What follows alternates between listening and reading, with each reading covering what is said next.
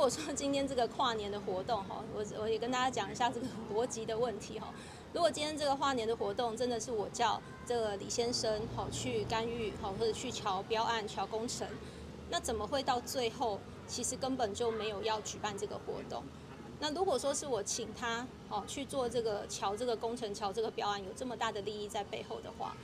那过程当中李先生本人应该是最积极而且最着急着想要来办跨年活动的那个人，所以并没有所谓的。呃，干预人事、干预行政、市政，或者是说有任何桥工程、桥标案的这个可能性在里面。好，那单纯可能就是说，前田局长这一个部分，我们确实可能在呃行政的沟通上面，现在回头想起来，确实有许多的一些呃疏忽，或者是让他误会的地方。那这个部分呢，我们也就我们自己的一个呃做的不好的地方，我们还是深自的检讨，也很感谢他在这段时间对新竹市文化局的付出。